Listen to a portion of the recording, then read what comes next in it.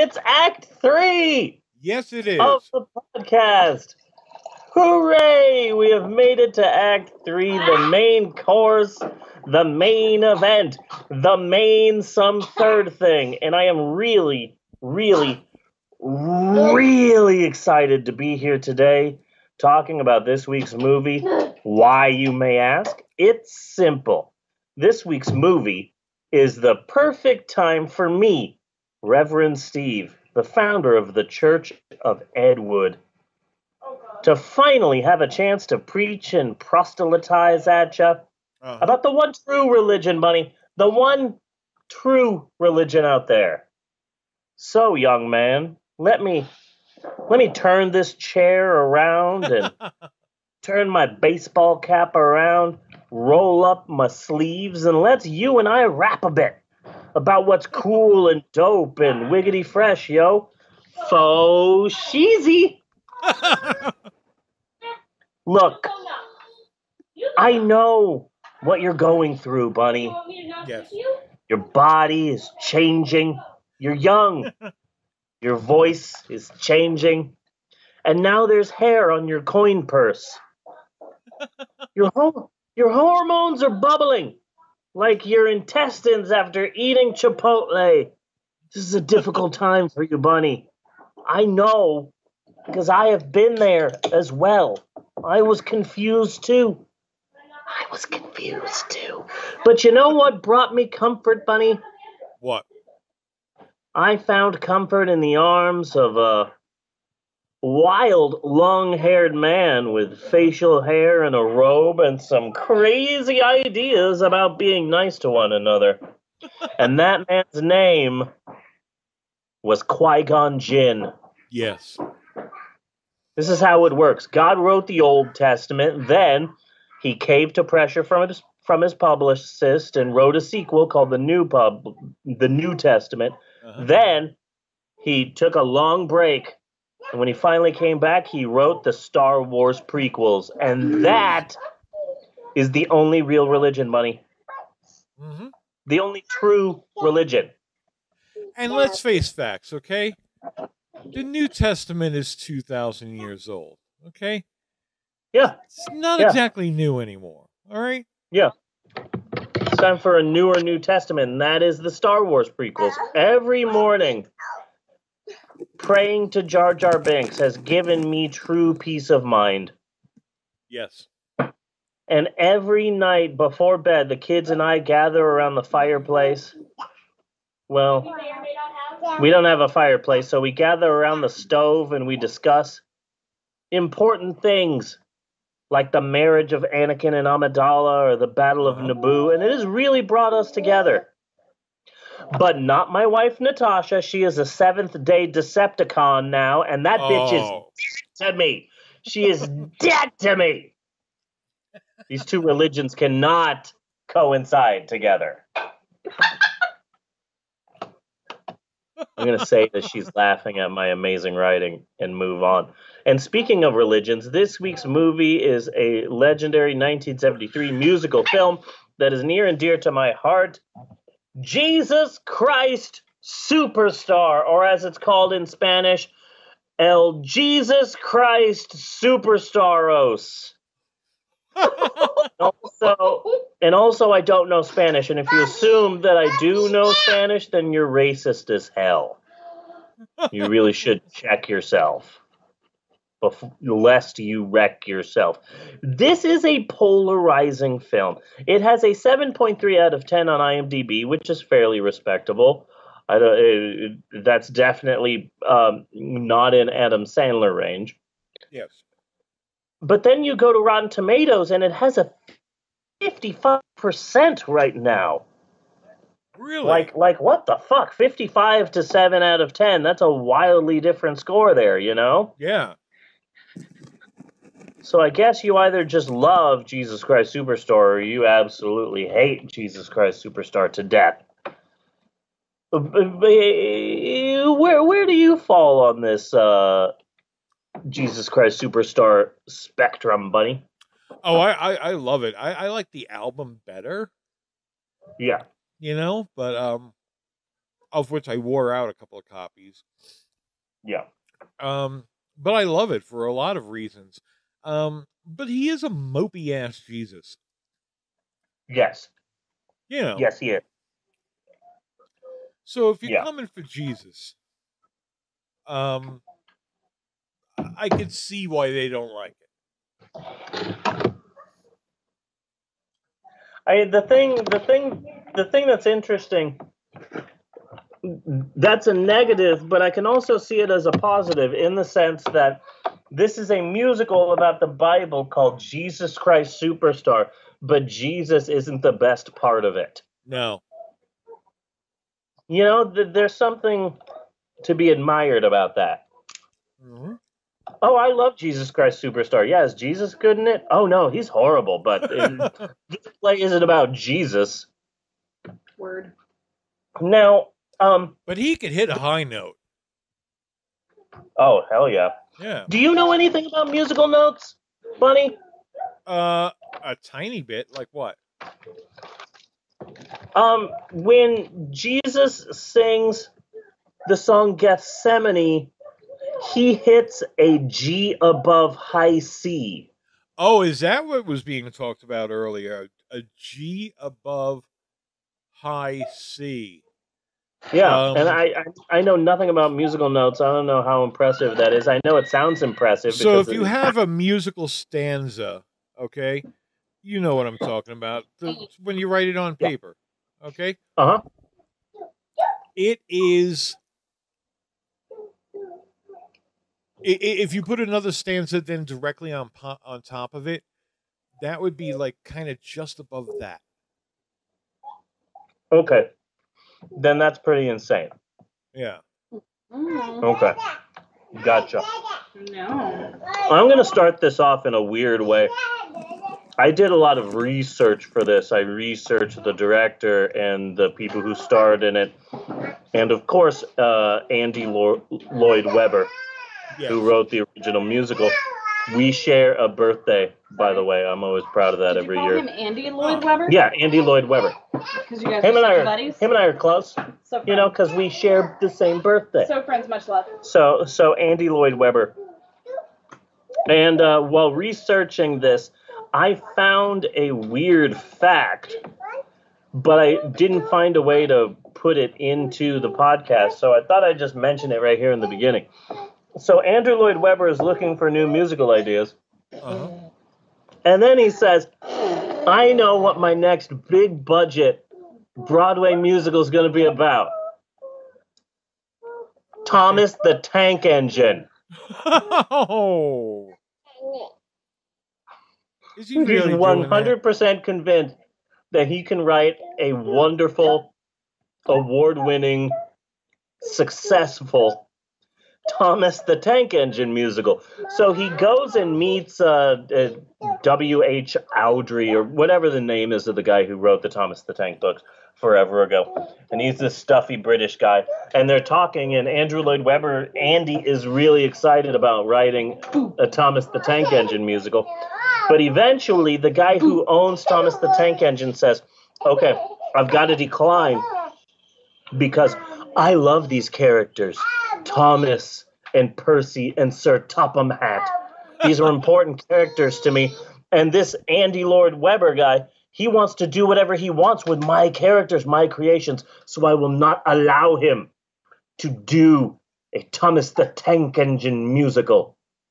So, so uh, Andrew Lloyd Webber says, "Fine, I'll just do it without Thomas the Tank Engine," and he writes Starlight Express, a musical about trains where all of the actors are on roller skates and roller skating around the set. Where are you going? nice.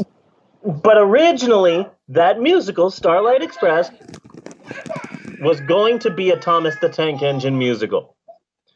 And when I first heard this, I said, "Oh my God, that's ridiculous and stupid. How could anyone do this?" But then I realized that the Jack, the Jack Black movie Rock of Ages, Uh huh. no, no, no, School of Rock, School the of Jack Rock. White, the Jack Black films. Co- Oh my God, Rock of, Rock of Ages could have been so much better with Jack Black. Yeah.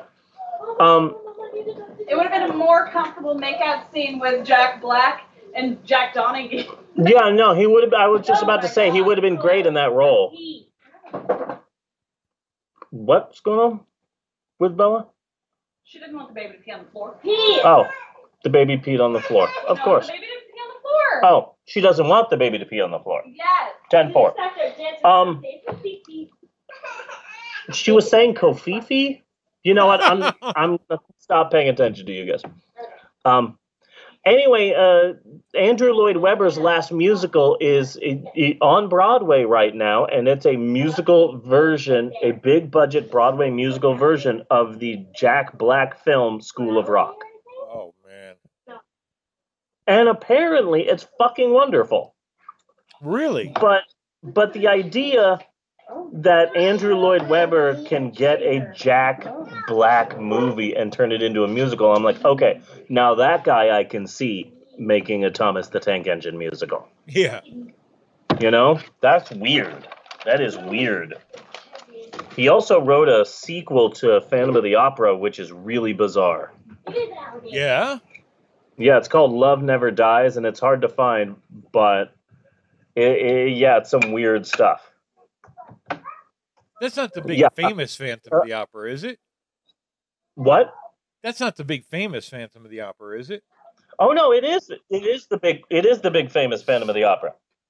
Okay. I have one. Yeah, no. Uh, Andrew Lloyd Webber wrote the musical Phantom of the Opera, the big Phantom of the Opera, and Cats. He wrote Cats. He wrote Cats. Okay. Memories. Midnight. That fucking song. Uh huh. So, I love Jesus Christ Superstar. I love this mu- movie, and I love this musical. And I'll explain why. In fact, this whole movie choice was just an excuse for me to discuss my own personal shit. Don't worry, Jesus Christ Superstar fans out there. We will discuss this film in eventually to appease the fandom. But how did I first become aware of Jesus Christ Superstar? Two words Bea Arthur. Bea Arthur. Yeah. Okay. Growing up, my dad was never around and my mom didn't want to be a parent. So I spent my childhood glued to a television set. Yeah. I watched a lot of TV shows. And back then, you could still see old school TV shows. I don't know where you could see My Two Dads nowadays. Yeah. Or, uh, no, uh, My Three Sons. Like, where can you see Gilligan's Island anymore? You know? Yeah.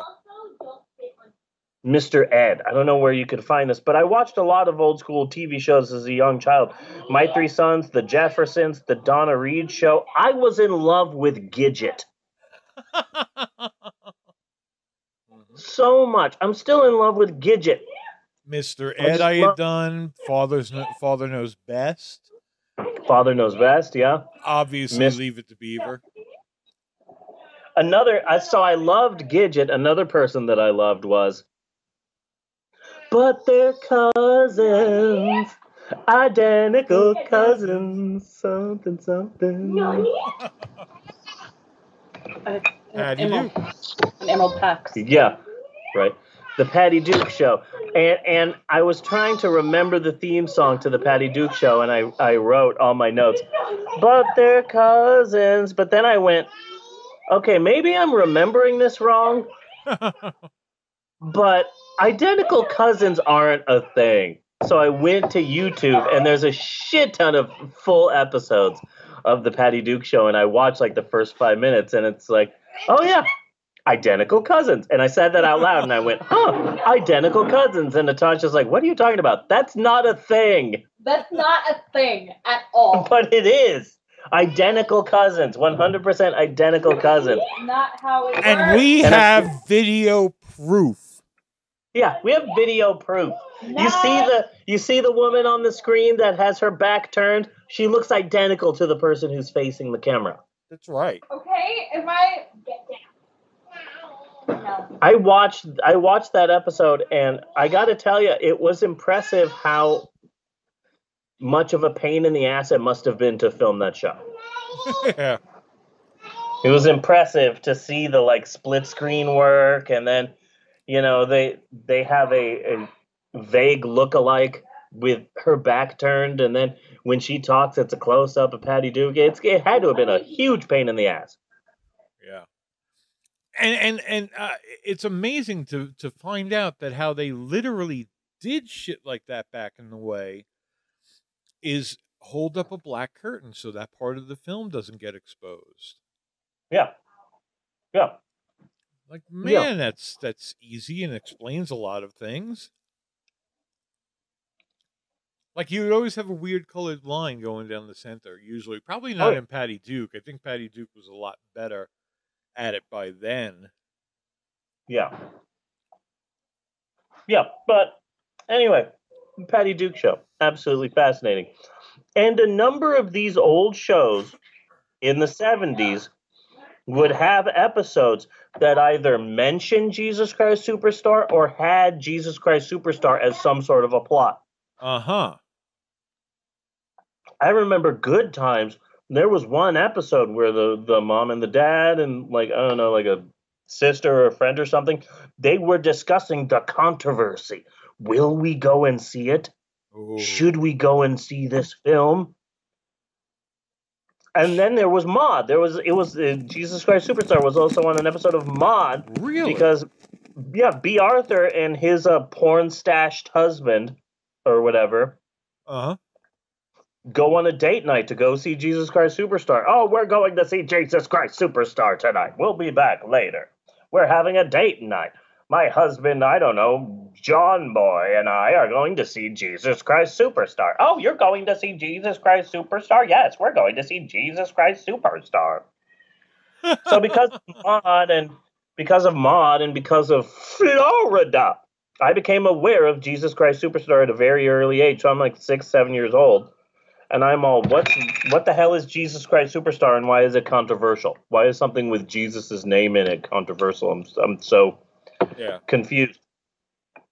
So it's difficult for me to think about my childhood because a lot of it, because time is like a boomerang and you throw it, you throw this, time is like a boomerang. So you throw the boomerang expecting to catch it, but you're unaware that um, the boomerang takes a long time to fly. And then when it finally comes back at you, um, the wind has shifted it and it comes and directly directly hits you in the fucking balls Yes. Yes, indeed. and that is yeah and that is time so it's difficult for me to think about growing up because um growing up i was a hyperactive little little uh, uh jerk that would never stop talking Go figure. i just would i just wouldn't stop talking i would just start talking and making up things and i just wanted to be heard huh does that sound familiar oh not really and I always wanted to watch TV, and I would go through all the VHS tapes we had and watch movies that we had recorded, and and I was always fighting my brother for the TV set. We were always fighting for control of the television. Huh? Does that sound familiar? No, I don't think so. So my parents, my parents who weren't known for spending a whopping buttload on us kids, plopped down $100 and got me a TV VCR combo from my room. Why? Because they obviously loved me, Uh, That's what I would have to say. Yeah. and also because they didn't want to spend any time with me.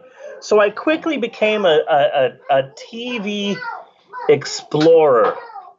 You know, I would have my TV, the TV guide was my best friend, and I'd go through that. Yeah. Look,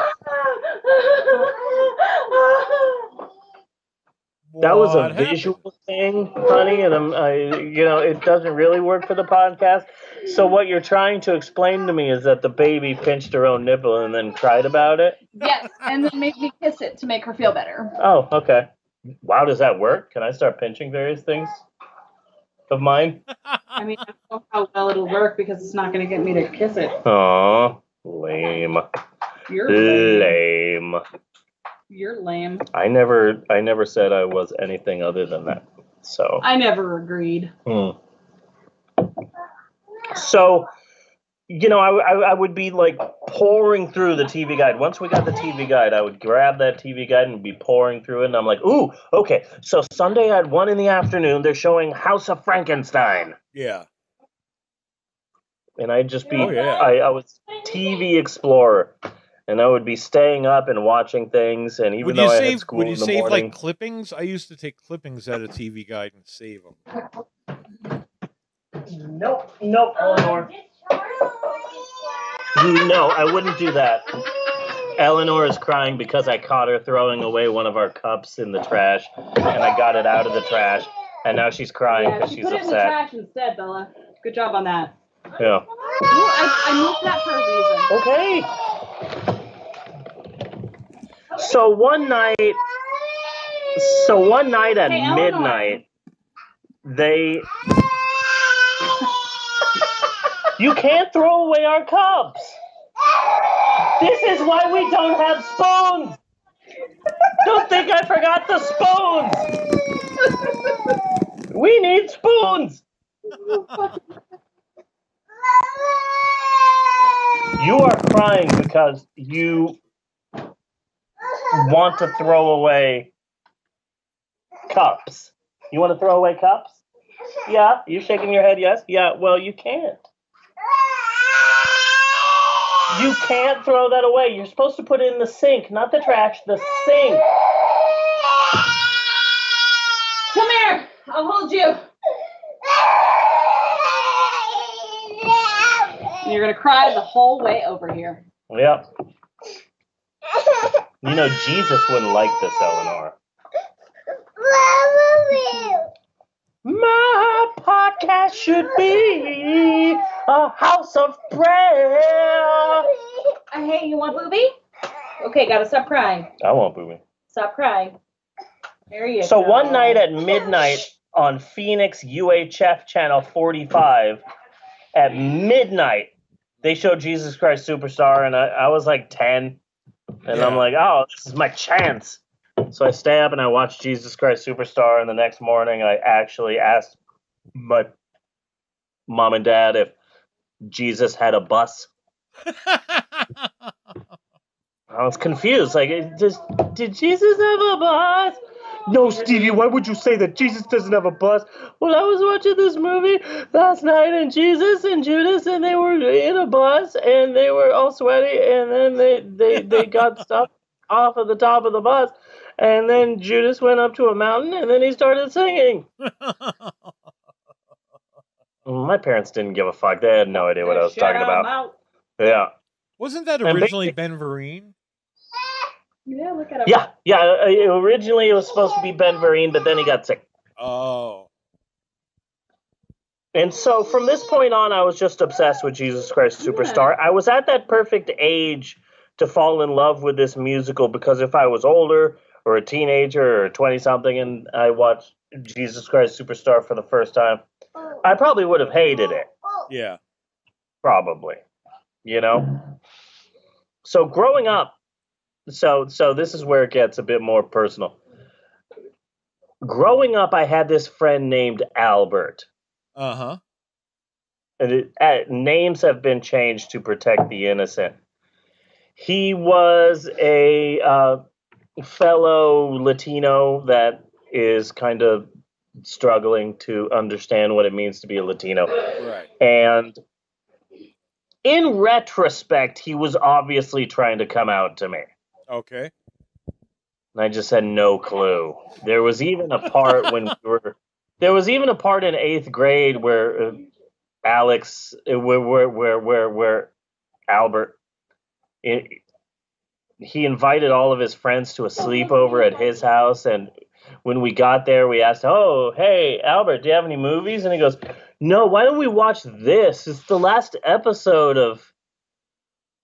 Of General Hospital. It's really funny. This one teenage kid is trying to come out to his friends because he's gay. it's really funny. Let's watch it and quote it all the time. And I love this so much. You're going to think it's so funny. okay. And he, he would spend all of his time with me, and he was always ridiculously kind to my mom. And Uh-huh. We would go out and spend all this time together. And in retrospect, he was trying to come out to me, but I'm not good with signals. Yeah. Who? Albert. Okay. Albert. That was his Albert. name? Yeah. So he one day he bought us both tickets, really good tickets to go see Jesus Christ Superstar live. It was a touring company featuring the original Jesus and Judas from the movie, as well as Pontius Pilate, played by Dennis DeYoung from the band Styx. Is that who that was? No, no, that's who played oh, no. him in the touring version that I Oh, saw with. Albert. Okay. Yeah, he would be good. Yeah. I didn't realize it at the time, but apparently this touring version that that I that Albert and I saw was the longest running revival in theater history. It started touring America in 1992 and was so successful that it continued until it finally ended in 1997. Wow. So Judas, Judas and Jesus were just touring all over America to basically every major and some minor cities doing this musical over and over again. And yeah, I've said this story before. I've said it a million times. Um, during the temp, a, a, a few days before, Uh-huh. a few days before we went to see it, and I think we saw it in '96 Yeah. a few days before we saw it, we we did the math and we're like, okay, so Jesus Christ Superstar came out in 1973, and uh, okay, so 1973, then 83, 93, 94, 95, 96, so that's 23 years after the film.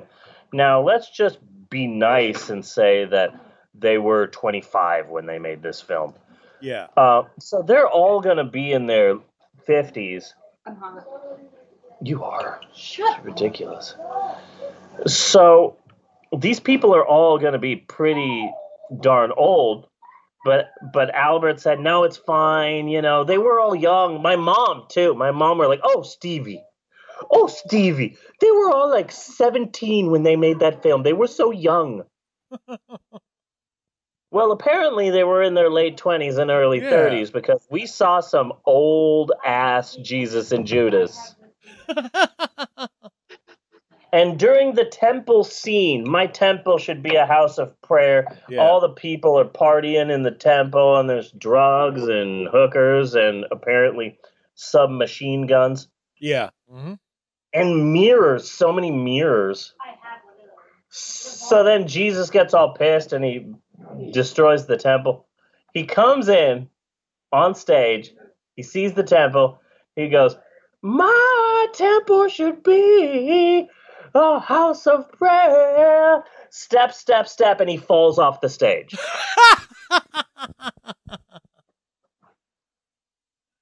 He falls off the Oh. stage into the orchestra pit. Not just that he fell off the stage, but into the orchestra pit. And you hear the orchestra going,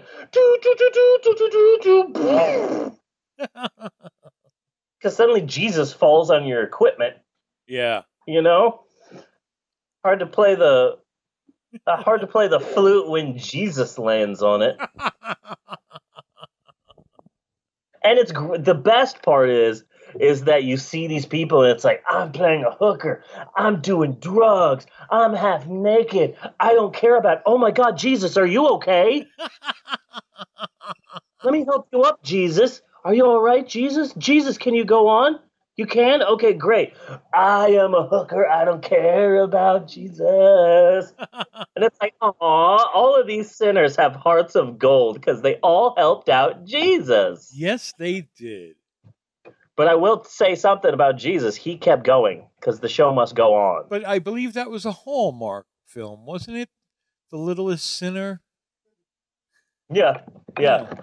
The Jesus sure. must go on. Yeah. A Hallmark original movie.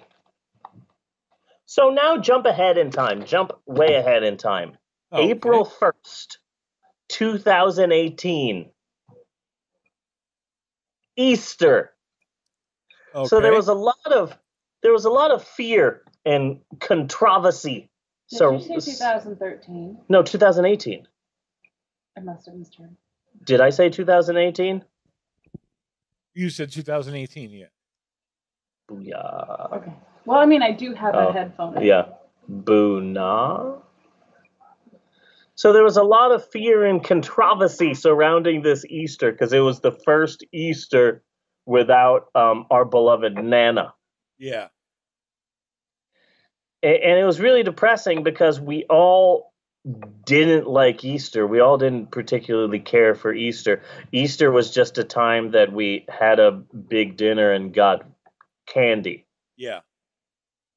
you know, and Nana would go all out and we'd be painting eggs and we'd have this huge, massive dinner that she'd somehow had been working on for two days.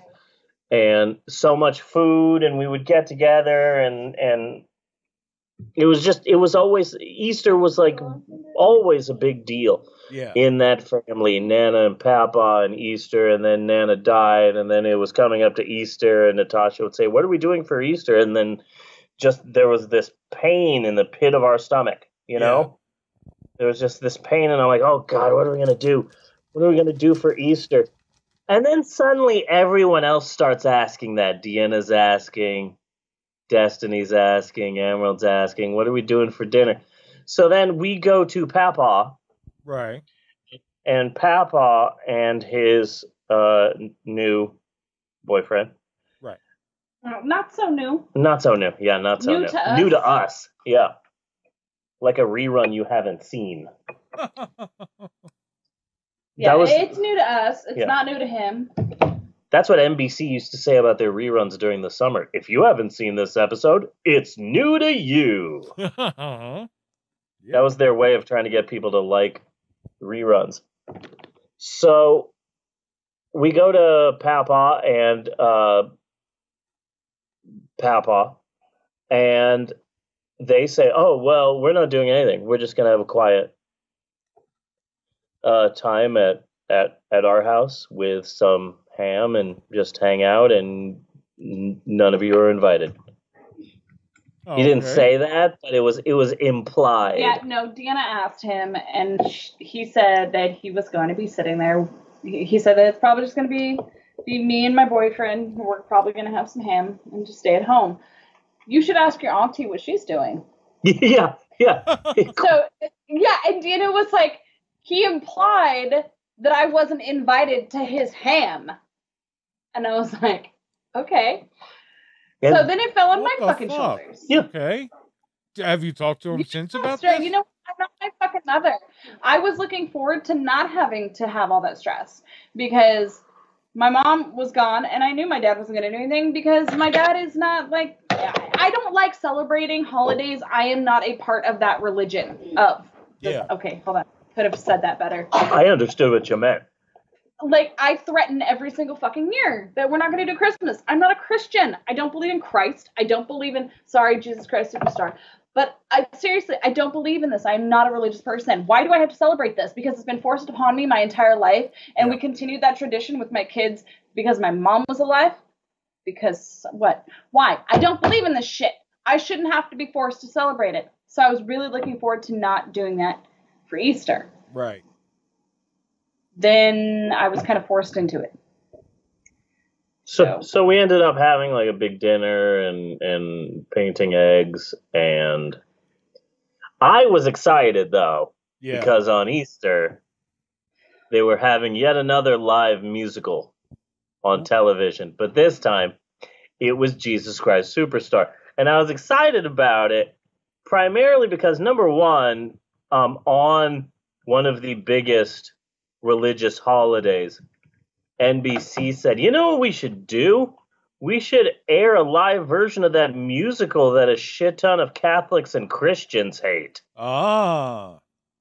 on their on, on their most important day of the year. We should play a live version of the of the musical they all hate. And so that that in and of itself was exciting. But wait, what made it even better is that John Legend, John Legend. John Legend portrayed Jesus, and I'm like, oh, you mean they're getting a black guy to play Jesus? Oh my God, the hits just keep on coming. Yeah, I'm kind of interested in that. I'm kind of I want to see what kind of job he could It do. wasn't, it wasn't too bad. Yeah, it was on Hulu. I mean, Hulu. it wasn't the It's on. Hulu now. It wasn't It- the yeah. original. Yeah. Uh, and and I gotta say, what's her name?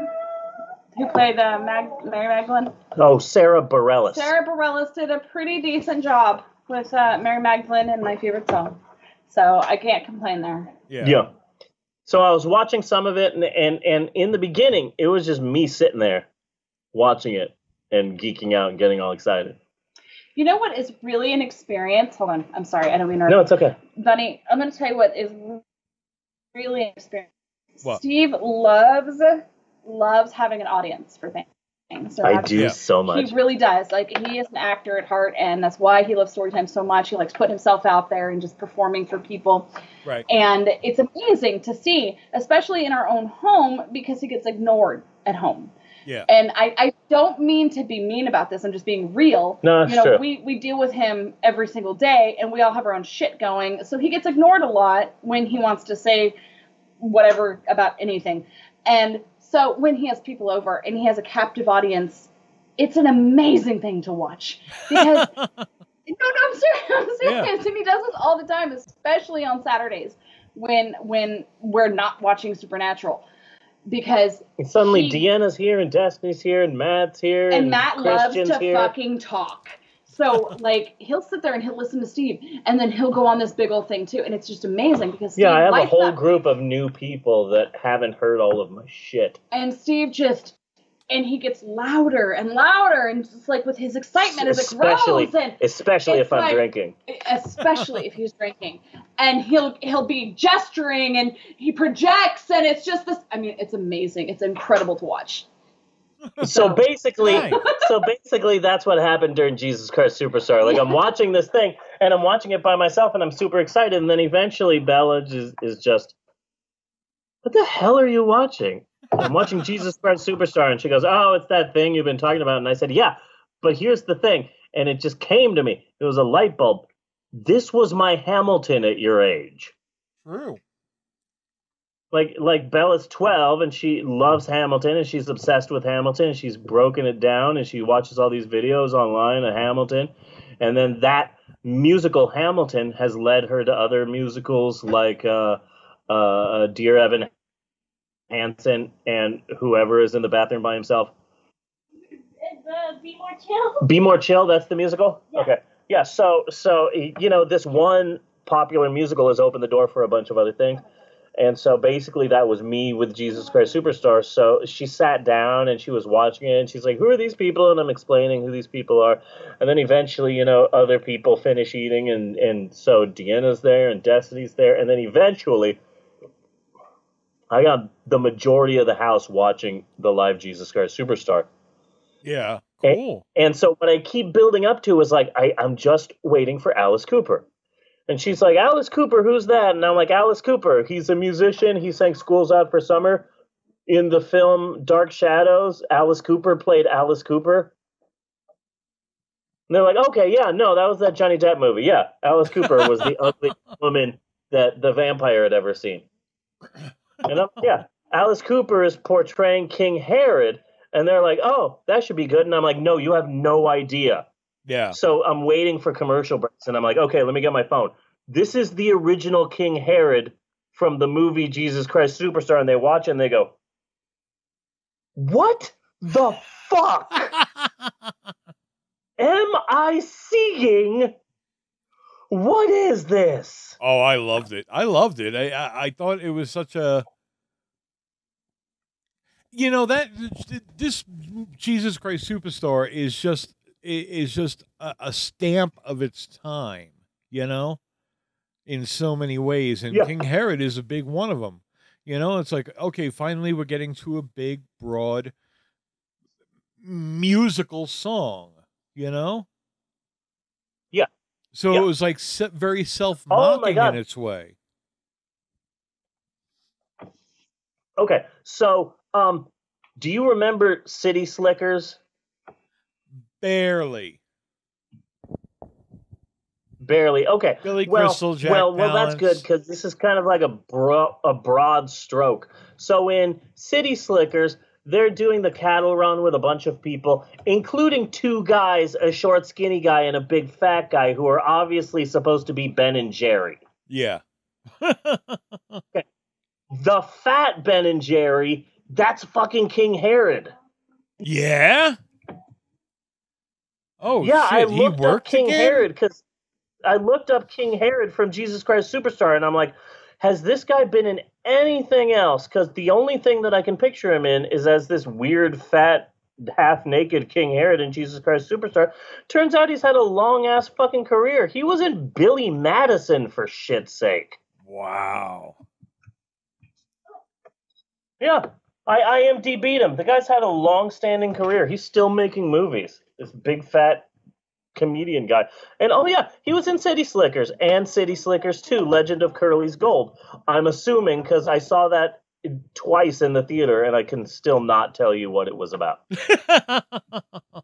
City Slickers 2 was the Men in Black 2 of uh, pointless catch grabs. yeah. But I'm happy to see that uh that uh fat weird King Herod was had a long career and was in other things, you know?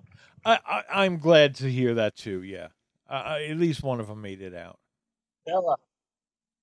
Bela, can you pause it to come over here for a second? So then we watched the musical Jesus Christ Superstar, and that was really good. And then everyone's like, "Oh, so what are we doing next, Steve?" And I'm like, "Well, I got to show you some scenes from the original movie Jesus Christ Superstar." And so we stayed up until like crazy o'clock, me showing videos of Jesus Christ Superstar, and then we're watching the end of Jesus Christ Superstar live.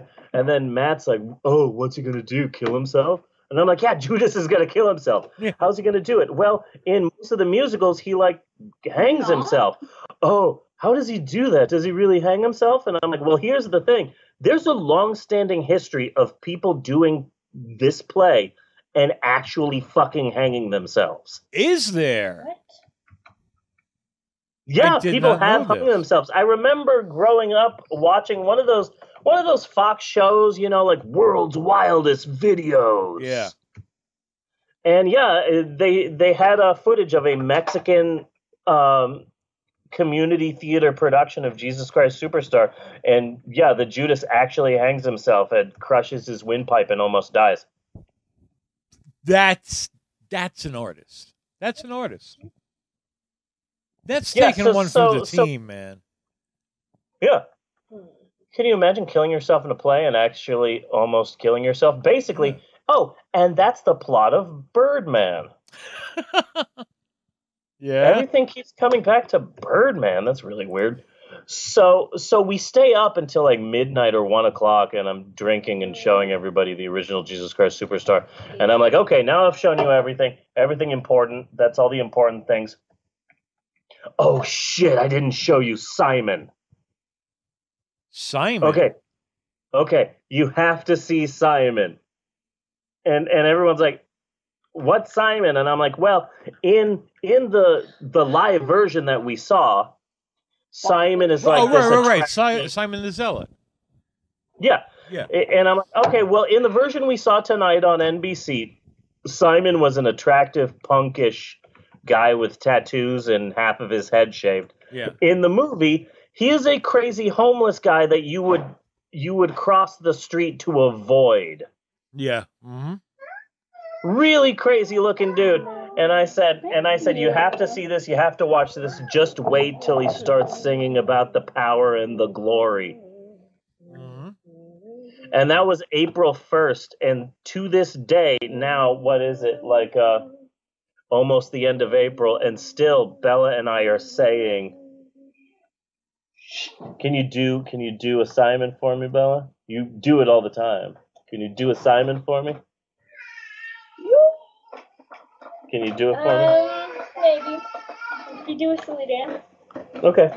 Ha! That's not a silly dance, motherfucker. That's the Cabbage Patch. That's not silly. Um, see, I want it to be known that Steve is just dancing. He's not really trying to do a silly dance here. He could really be putting more effort in. Eleanor, it's okay. Yup, power, yup, glory. And then he's doing these arm gestures as he's You doing like it. Yeah. up and to the side and up and to the Okay. side and Uh, just I need so gonna Crazy. I the door open. I'm going to. and he's getting fun. these on. notes. Yeah, it's hot as hell. in here.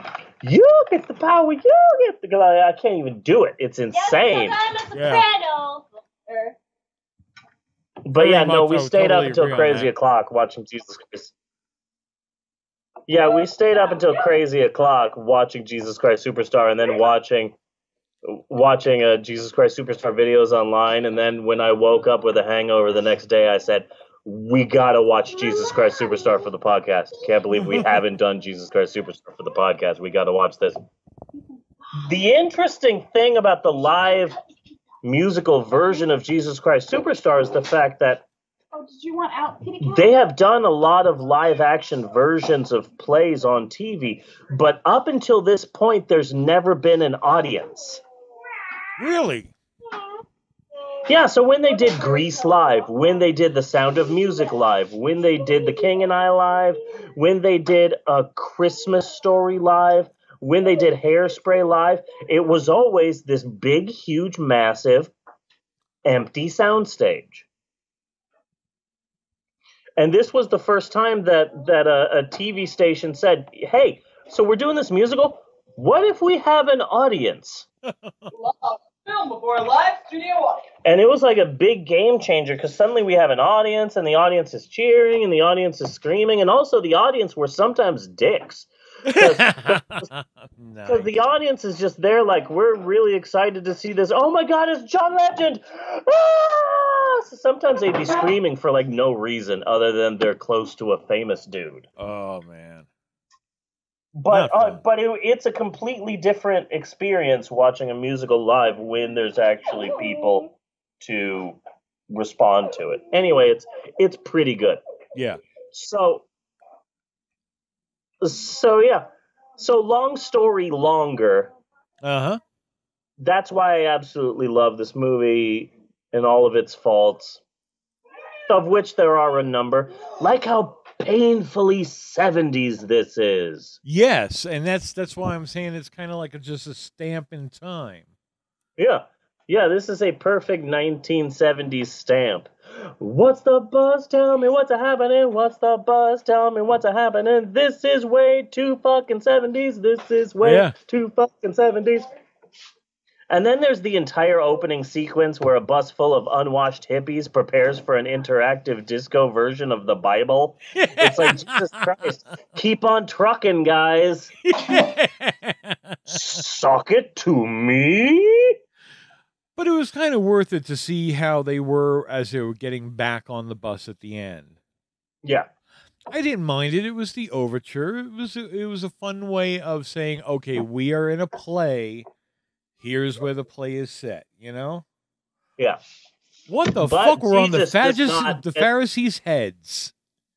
I have no fucking idea.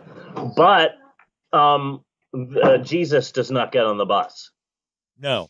at the end. Because he did. Yeah.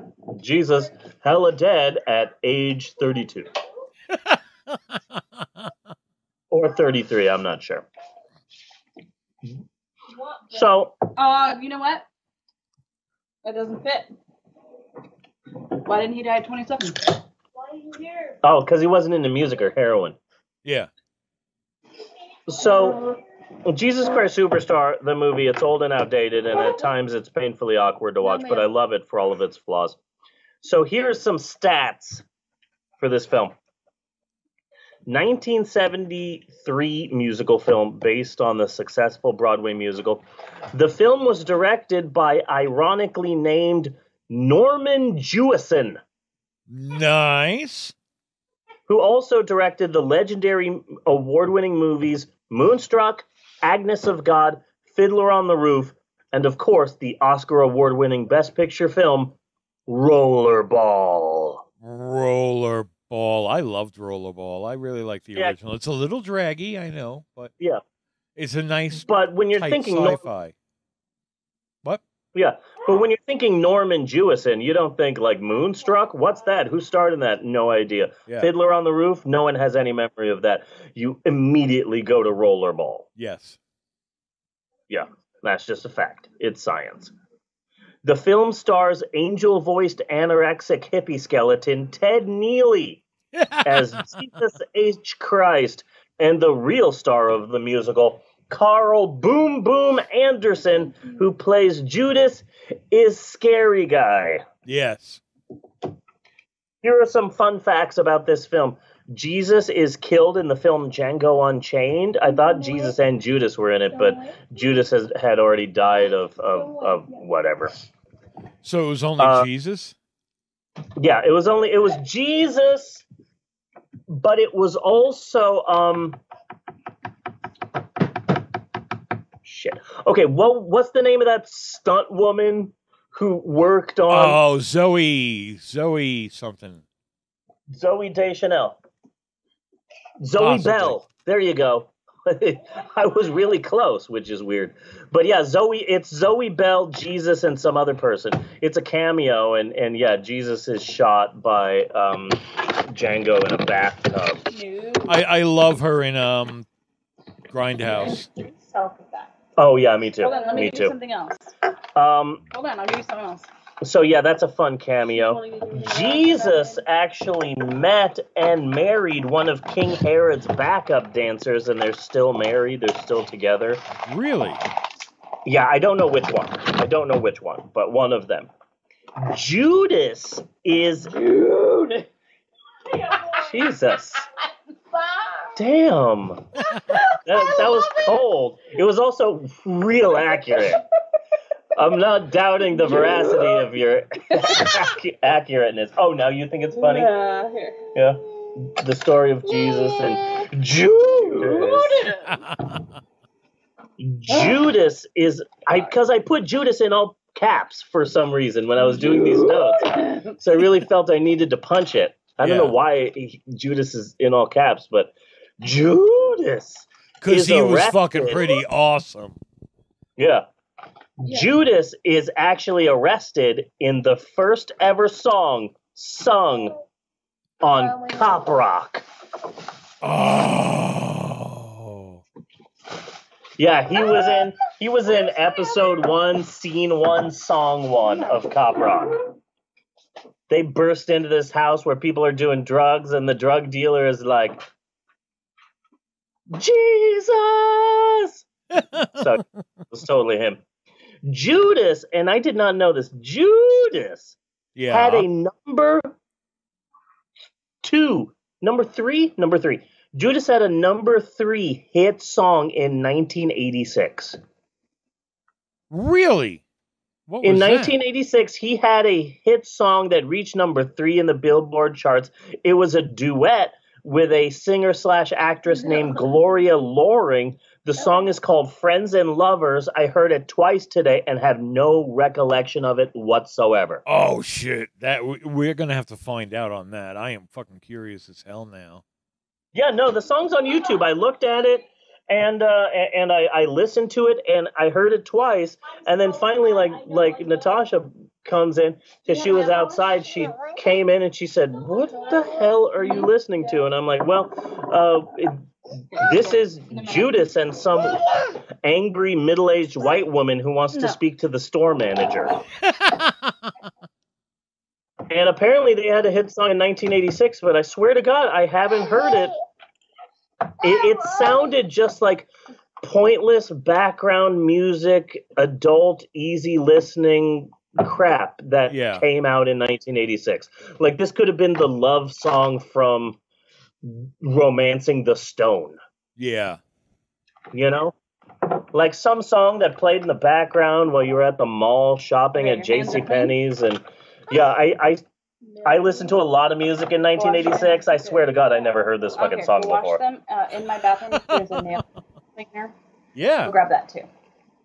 And here is an interesting fact. Here is a bizarre, interesting fact. I need to wash your hands again. In 1992, Judas married a woman. Uh, really interesting. Mah- one of Muhammad Ali's ex-wives. Really? One of we have. Yeah, I looked it up. He has like three. He had like three or four. But gays are ruining the sanctity of marriage. Gay, y'all. yeah, gays are ruining the ruining the sanctity of marriage. Now see who gets married in the new reality show, The Bachelorette. This season, we allow a black to star.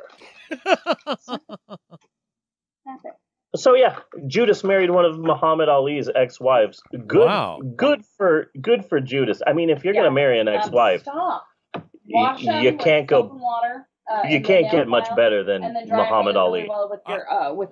I, I I I am in total agreement of that. Yeah.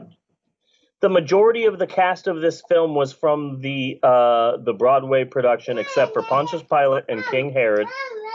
Originally, Ben Vereen from Pippin and Roots, and Roots Two: The Rootening, Yeah. and Roots Three: Revenge of the Roots, and Roots Four: The Roots Take Manhattan. Yes. Originally, Ben Vereen was supposed to be Judas, but he got sick, so they got Cop Rock. Now, Jesus, Jesus, Yes. that's an exclamation meaning I can't believe this. Jesus. But now, next, I'm going to be talking about Jesus. So, Jesus, Jesus, yes.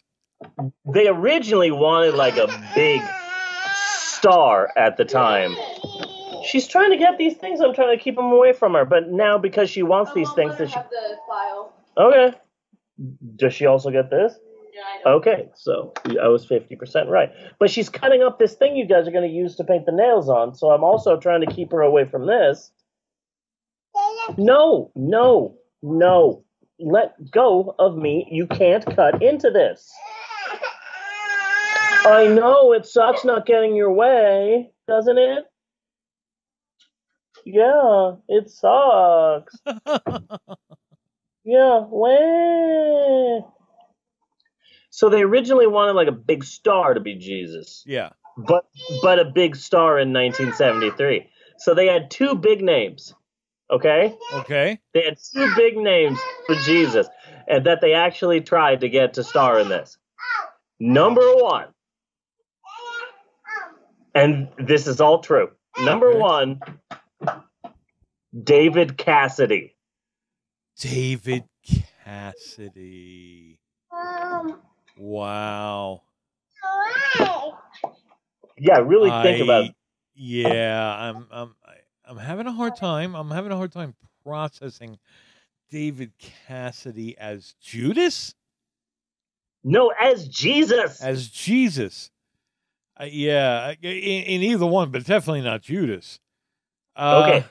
Well, then hold on to your hats because there were two people, remember? Okay. Micky Dolenz Oh my lord. from the fucking Monkees. Why do you hate God? Why do Yeah, you like- hate God? I imagine Norman Jewison is like, you know what? If we're going to be making this controversial film, let's just make it as controversial as possible. Uh, as if, as the part of uh, like if I'd be making this now, like okay, if we're going to be making this film controversial, let's make it real controversial. Uh, Jesus, let's see if we can get George W. Bush Yeah. for Judas. Uh, Louis I. Farrakhan. Yeah. Louis Farrakhan. No, how about this? Caitlyn Jenner. Caitlyn Jenner. Okay. Yeah. Wait, you need to go somewhere else. Bela. Yeah, for your Mary Magdalene, let's hand. I just don't know uh, why you didn't do that the first time I told you to. let's get Courtney Love, Uh huh. Nothing, okay? and They the look rest of the cast Thank can be flamboyantly gay people making out with each Thank other as they read passages from the Bible. Yeah, if we're gonna be show. contro, if we're gonna do this controversial musical, let's just get as controversial as possible. Let's see if we we can give An Mary abortion Magdalene scene an abortion Yeah. during the musical in the temple. In the temple in the temple. would be perfect.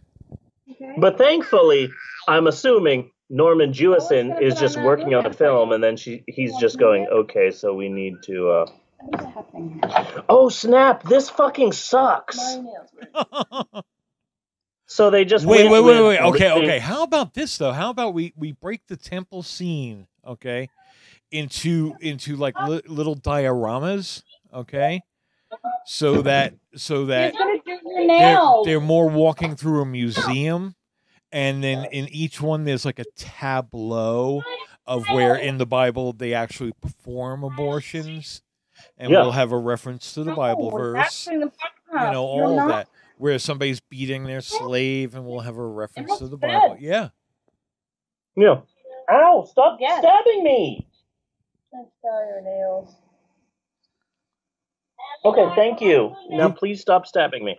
who can get us the rights to this i say we do it Yeah. Yeah, thank you. So they they scrapped David Cassidy and Micky Dolenz and they went with living sexy crypt keeper Ted Neeley yeah as Jesus because he did the original Broadway version. The musical was originally written by Andy Lloyd Webber. This is technically his third musical, but really his second. yeah The first musical he wrote is called The Likes of Us. He wrote it in 1975 and it was performed for the first time in 2005. really okay So in my mind, his first musical doesn't count i would i would agree because he, he wrote the musical and then it took 40 Yeah, I'm not gonna years for it to be these are gonna look performed. That doesn't count. That's not but your first assume it'll be musical. easier to do it on No. Somebody else than on myself.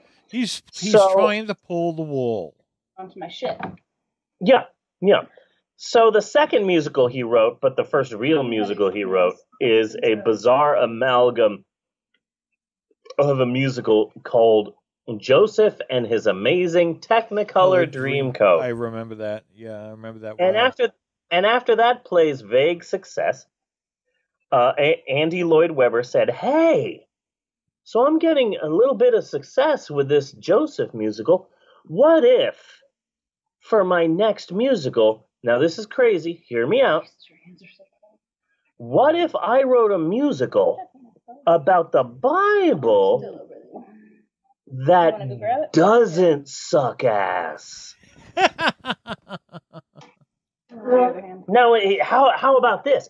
We do another musical like Joseph and the Amazing Technicolor Dreamcoat, except this time it's good. Boom! That's how we got Jesus Christ Superstar. To be clear, Uh, okay. uh, Christians and Catholics, a number of Christians and a number of Catholics absolutely hate this musical because it's the Bible from the point of view of Judas. Number one. Yeah. Number two, Judas is seen as kind of a good guy, but he who sees Jesus as a normal man, as a human, and he was kind of chosen by God to turn on Jesus, and so it's not really his fault. He was just used. Right. He says that in the musical, and uh, then later to sing the title song, "Jesus Christ Superstar," he appears as an angel. Well, more literally, he he appears as Lucifer Okay, Okay, does Yeah. coming down on the morning star. Yeah. yeah. nice. Well, okay, but you know what? He's still a fucking angel. Yes, he is. Okay. That was a good. but that that was pins a good little- specific Thank you angel he for for that. Well, I mean, it's the truth though. Yeah. 'cause Lucifer was an angel. Yeah, yeah. I I, I saw. Anyways, Dog- I'm Dogma. sorry. Go on. So uh, it, people are, are are really upset. Also, there's the fact that uh, a lot of Christians are upset because he didn't add the resurrection. It just ends with him dying. Oh, Yeah. he's dead. That's sad. Bye, guys. So, but it, Zombie. Well, I, I I always took that that for me where where we actually do the Jesus Christ Superstar and Lucifer comes down from the morning star. He that is the resurrection. That's Okay. that's in that's in essence the kind of story that they kind of play around with where the three days Jesus was dead, he went down to hell and some I, I don't remember the full fucked upness of it all, but that was kind of a representation of that. There was a give and take between Jesus and Lucifer, and then Jesus lit up and got all glowy. Yeah, You know, I watched. I, got all glowy. I watched a really good um, Do you want the fake nails? Movie textured or you just about, want acrylic on a TV show about the history of Lucifer. So what happens is Lucifer got banished from heaven and opened his own jazz club uh huh. where he solves a different mystery every week. It's not even a jazz club, dude. It's not even a jazz club. It's just Mm. like a Yeah, it's just a it's club. a jazz blues club. Well, more it's blues like a jazz, piano really. bar, really, because there's Yeah. a piano that Piano Yeah, it's a piano bar. Yeah, He- Lucifer's he- losing cred by the second here. yeah. He opened he opened up the jazz bar with the guy with uh, Ryan Gosling because he he saved jazz. Uh huh. Yes, he did. Ryan Gosling saved He Jazz. saved yeah he saved jazz from the those evil blacks.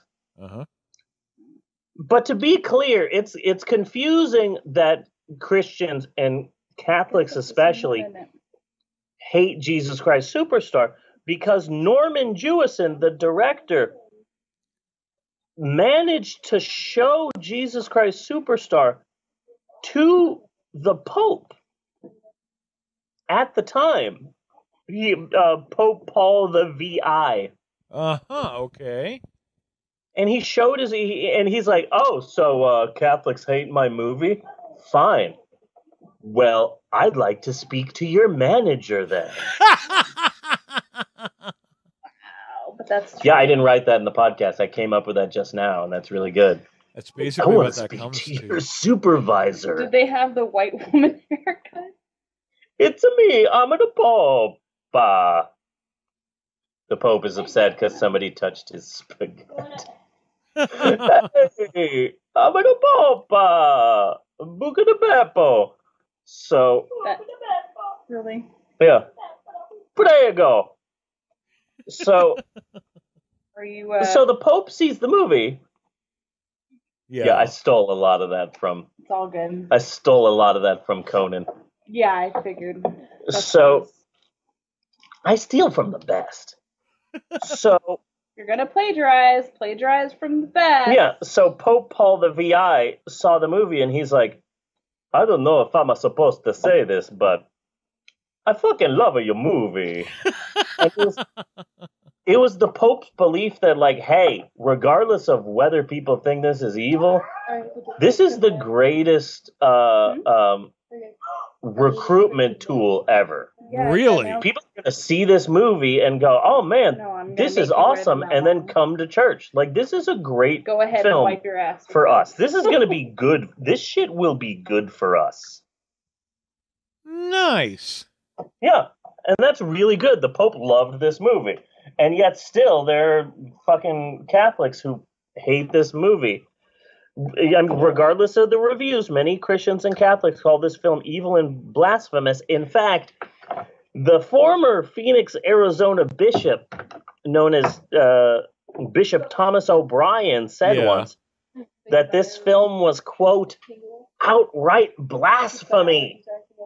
He said that to a young Reverend Steve on a bus from Phoenix. Arizona to Denver, Colorado to go see uh, Pope JP the Two, which was the last cool pope. Yeah. hear or what? So going to is so Pope uh, Bishop O'Brien said that the movie Jesus Christ Superstar was outright blasphemy. Of course, he said that in like 1991. That was before he was arrested for fleeing the scene after hitting and killing a 43 year old man. Yeah. He was the first U.S. bishop to be convicted of a felony. And then in 2002, a grand jury is investigating the the the the Catholic Church of Phoenix for um, sexual abuse by priests. yeah. And Bishop O'Brien was facing decades in jail. And he finally admitted to covering up allegations of sexual abuse and sheltering priests. And he admitted to this only as part of a plea deal where he was guaranteed no jail time. Wow. That was in 2002. And uh, yeah, the guy kind of got off scot free for having numerous priests molest young children and then covering it all up and then uh, hiding the priests away from people. And also, he killed a guy. Yeah. And ironically enough, the guy that he killed, the 43 year old guy that he killed, and then he fled the scene, the guy that he killed was a carpenter. Oh. Jesus Christ. Uh, uh, the- No, but it wasn't. This this couldn't be the only way this could be more ironic was if Alanis Morissette was also in the car yeah. singing about rain for wedding day. True. That's some serious irony. the Catholic bishop running over and killing a poor carpenter. God, that is a sign of God. That is a sign of God. This this is the divine hand. You know, the Yeah, divine uh-huh. hand coming down from the clouds and spanking a bishop.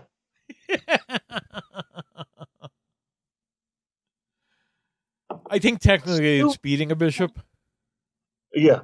So you would think that the Bishop Thomas O'Brien story would be over after killing a man and becoming the first U.S. bishop to be convicted of a felony, and then uh, admitting in 2002 before a grand jury that he covered up allegations of sexual abuse and sheltered priests.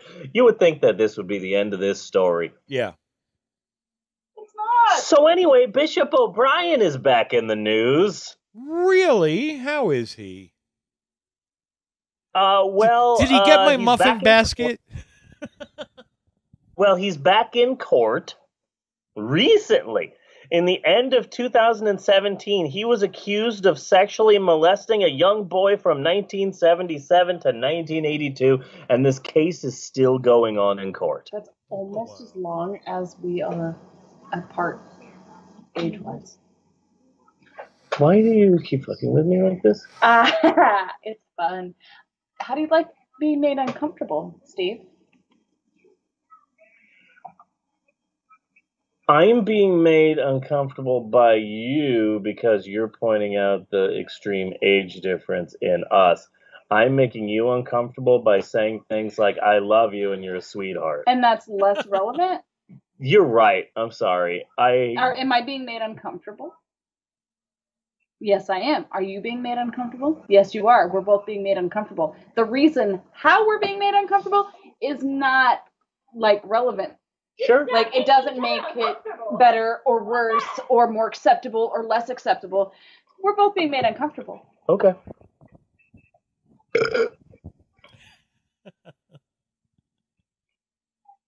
I love It's, my um, I do love my husband. It's amazing how much this podcast is a An ode to our future divorce. painfully personal look at my life. Yes. You make it. Hey. I know, I know, but also like just so much of it comes out. Like someone could listen to my podcast having never met me personally, and then when they meet me, like like someone could have listened to my not podcast. No, someone could listen to my podcast, and then we're both at a restaurant, and they're on the other side of the restaurant, and they just start hearing a family arguing and a baby screaming and throwing things and Maxwell having a fit and Bella going, "Oh, what the hell? And then Emerald, it, and I'm like, Emerald, can you help out? But Emerald's busy taking selfies and doing duck faces. And, and, and, Duck faces. and then suddenly, like, the person on the other side of the restaurant goes, Steve. Is that Reverend Steve? Oh my god, that that's that's that's Eleanor. I've heard her yell so much on this one podcast called the Pope on. Ah!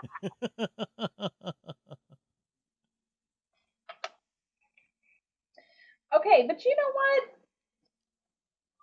Uh, you invited this along, Steve. I did. I don't write in my blog, so I need some some other uh, opening into my personal life.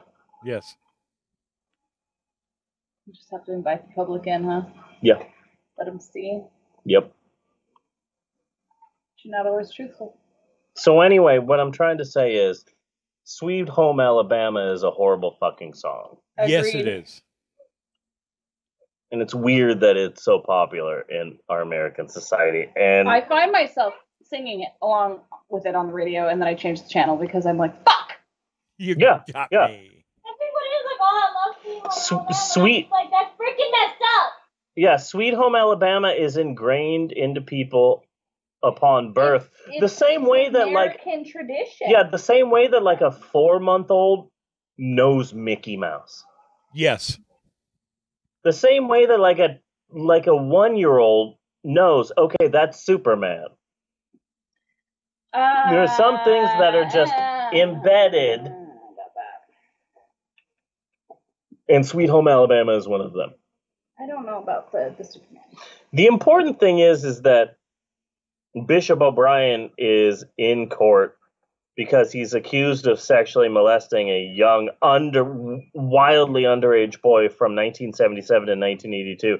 And also, I'm not sure if you know how this works, but bishops a bishop is in charge of an entire city, an entire area, an entire diocese, and they go all over the place doing uh, masses and, and blessings and stuff. But they have one church, which is their home base, their base of operations. And that home base for Bishop Thomas O'Brien was my school. So there's a good chance that my school was home of numerous molestations. No, go back to where you were. Um, I think it would be fair to assume yes. Yeah. So Should've the other clipper for this. so that's fun. This guy is an asshat and he deserves to rot in jail. So fingers crossed. Sorry about there. Fingers crossed that he ends up in jail. Yes. Like I always say, shum shum slippity dop. yes. Yeah. Thank- Which is from And that is- Corinthians. yes. Yeah, and that is all that I have for this episode, except for one last thing. Next week on the podcast, we're going to be talking about uh, the other. the the clipper that 1963 was made for these. uh, alien movie with a twist, the day Mars anybody to actually invaded let me do Earth. Yes. We're going to be talking about Steve Burns, the original host of Blues Clues. Okay. We're going to be talking about uh, the WWE in Saudi Arabia. That's going to be fun. Oh. I'm going to be getting really personal We can always about file it down a little more. About a, a, a about a, a an article of food. I might have to be alone while I talk about this part because What it's. food? I'm not going to mention What it. food? I'm not mentioning it What right food, now. Steve? No, What food, Steve? I will show you what food it is if you don't mention it out loud right now. Oh, Okay. And uh, yeah, we got a lot of exciting things planned for next week. But here's the thing. Yes.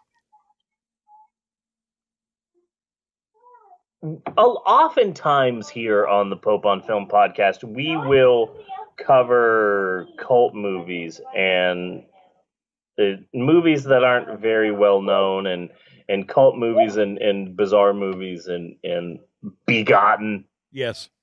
took up a whole episode. That was impressive. But ow. Uh, Eh, what I like to do is I like to occasionally throw in a really popular movie that I don't necessarily want to see, Right. but that I think will garner clicks and listens and bring people into the podcast that wouldn't normally listen to the podcast. What I'm trying to say is, Bunny, next week we're doing Fifty Shades of Grey.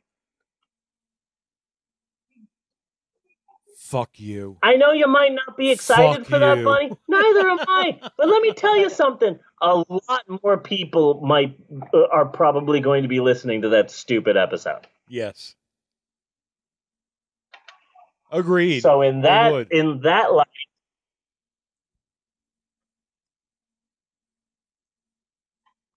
hmm. I didn't hear you. You blacked out a bit. Sorry. It, so we can file them. Also, it's a good time to watch that because Fifty Shades of Grey, the movie, is based on Fifty Shades of Grey, the book that originally started out as just erotic fan fiction for Twilight, which we have also done on the podcast. Yes, and and it it I, I should have drawn a line there. Yeah.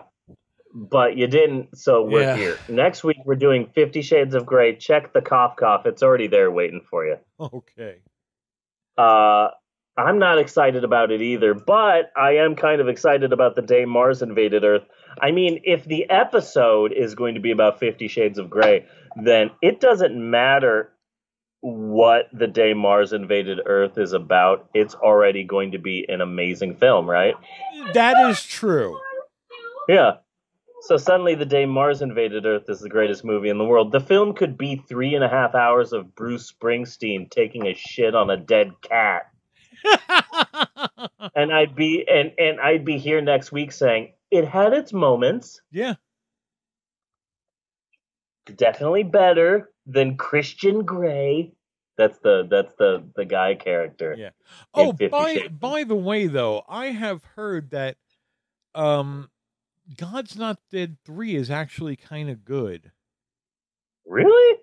in that Christian mingle sort of way, where it doesn't really seem to particularly like Christians. Really? Yes. I'm so I'm so blown away by that that you're gonna have me saying really in a high in a G above high C like Jesus H Christ. yeah. Did he confirm that his middle name is H? Yes, H as in Harold. heck of a t- dancing. Heck of a tap dancer. He- Yeah, heck of a ta- no heck of a tap dancing. Jesus heck of a tap dancing Christ. I, no, I've explained this before. It stands for Harold. It's Jesus, Harold, Christ. Because Okay, God you're the trying- Father, God the Father is Harold, as in the Lord's Prayer. You know, Harold be thy name. So so are you trying to say that Jesus can't tap dance? Um, Why Yeah, that's say what I thought. he, he he he could probably tap dance. I don't know how good with the macrame he would be anymore. That's a good point. Yeah. But that's next week. Next week we're doing 50 Shades of Grey. Tell your female friends. That's not sexist. oh, okay. Tell your female friends and possibly your gay f- male friends. Yes, I I will I will That's have not to prepare. that's not that's not sexist, that's honest. Yes, yes, it is. Yeah. So that's next week and I'm actually kind of excited about next week. Um I've never seen 50 Shades of Grey before, Amber. Can you walk me through it? Is it going to be okay? Uh, Emerald's the one to ask, not Amber. Yeah. You didn't see 50 Shades I of Grey? I saw it in the movie theater. That's why I asked you. came. That's why I asked you. oh, Like you're probably going to have to watch it with me and explain everything you're that happens. probably gonna hate it and make a lot of jokes. What? That's not me. I don't know who you think I am, Amber. I'm super positive. Uh, I'm gonna love it.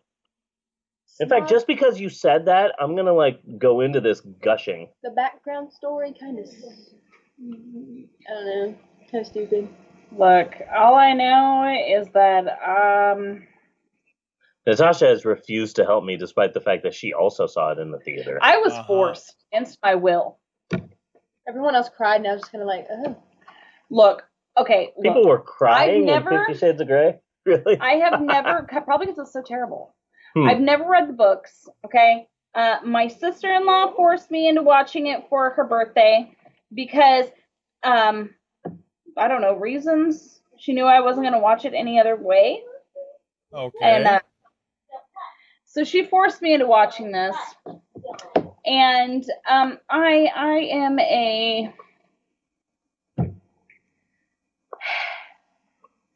I I know about the lifestyle.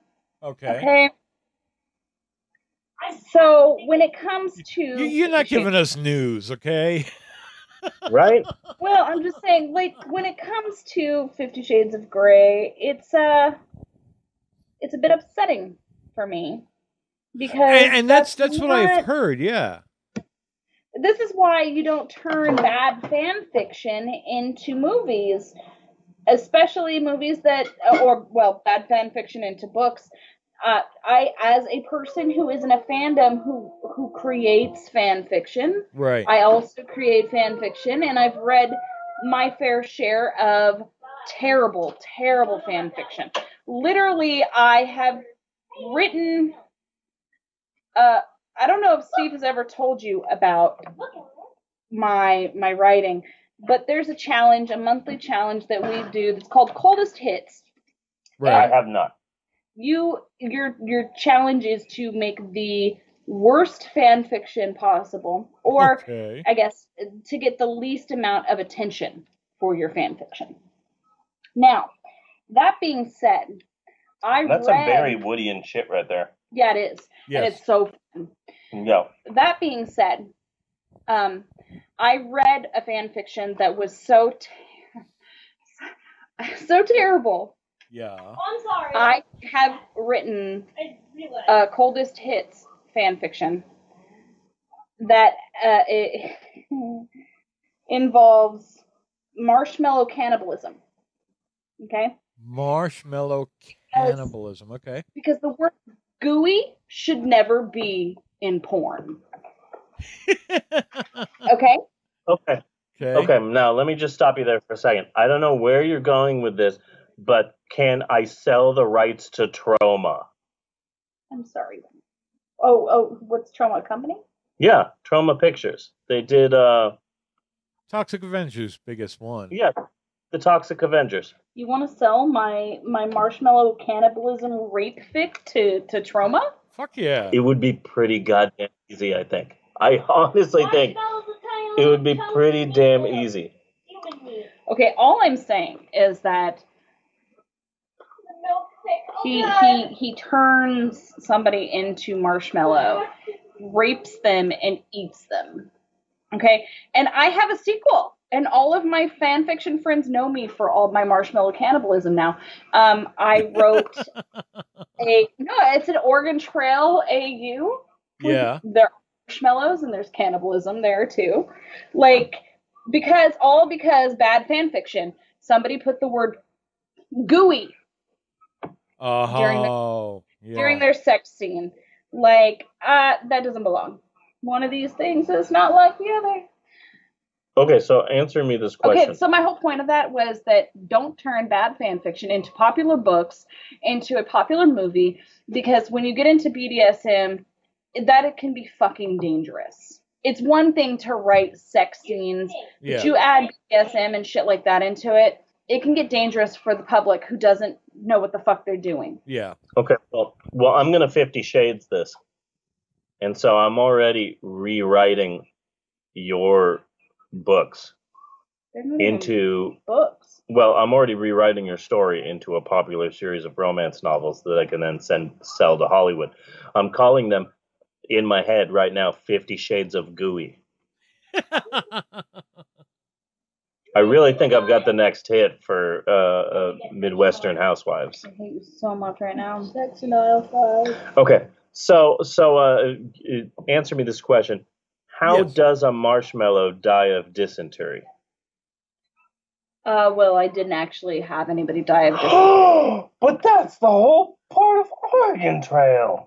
Uh, It's dying of dysentery. about the fucking game. I'm talking about actual Oregon Trail. Oh, okay.